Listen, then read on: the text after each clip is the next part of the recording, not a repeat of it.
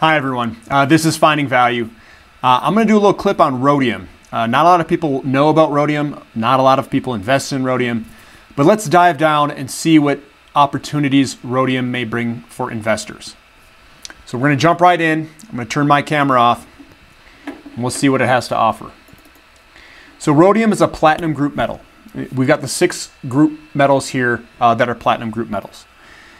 It's a white silvery metal I'll show you in the next slide what it looks like. It's ultra rare. It's very hard, corrosion resistant, and it's a transition metal. It's there's there's no substitute for rhodium. Platinum can substitute for palladium, but there's no substitute for rhodium. It's considered to be a critical metal. 80% uh, of its demand comes from the auto industry, and we can look at the other uh, demand here shortly.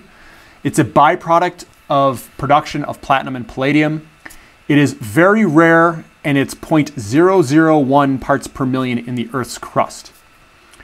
Uh, they produce 1 million ounces per year for a supply, and it's been pretty steady at that 1 million ounces for, for a pretty long time. Uh, rhodium bullion buying is just a little sli uh, sliver of overall demand. Finding a trusted dealer uh, of rhodium is very difficult.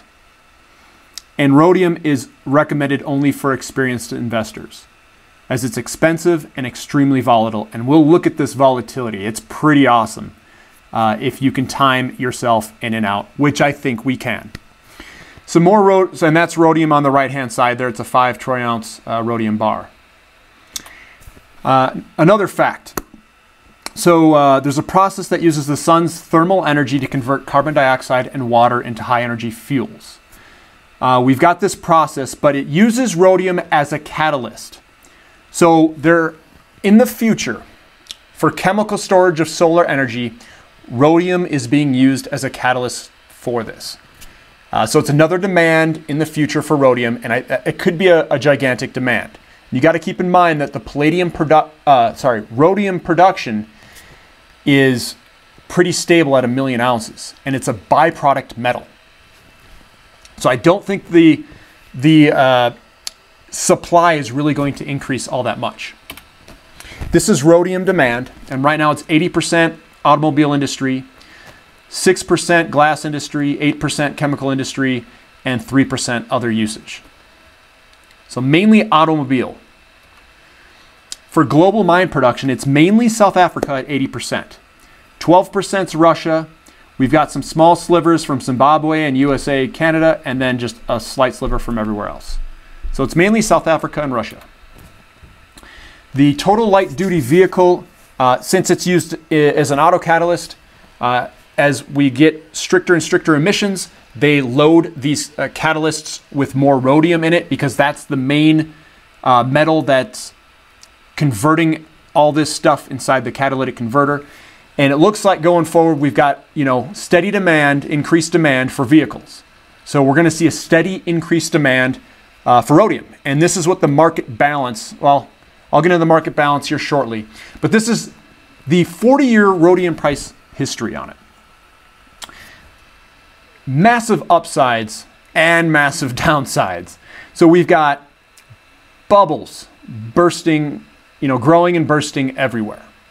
So if you can time this, and I'll show you how to time it using ratios, uh, I think we could make massive purchasing power gains in rhodium. And I think we should all uh, put a little bit of rhodium in our portfolio when the time uh, tells us to.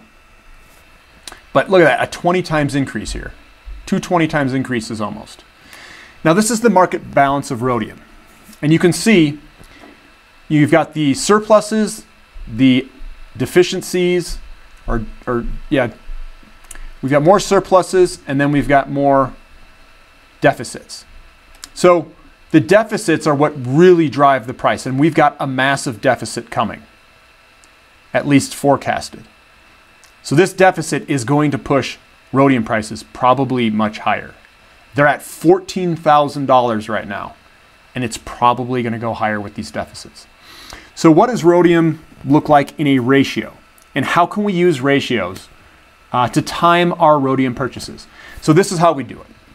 Whenever you've got a metal that shows, you know, it's cheap in 82, it's cheap, or 83, 83, it's cheap in 83 to buy rhodium, according to these charts. So what does that look like on a price? In 83, it was right here at the bottom before you get this huge move higher. And in 91, it was expensive. It was a lot of money. Let's see what it looks like in 91. In 91, we have a total price peak in ratios in every single metal. So we could have timed this top pretty easily right when it turned. We would have popped out right here. That's what I would have done.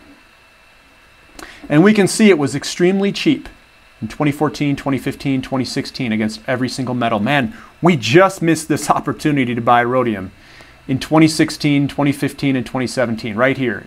All the metals screamed a buy for rhodium. And you can even tell big move up, slow leak out, big move up, slow leak out. When you know how to read charts, this is definitely a bottom, and then it broke that downtrend right here.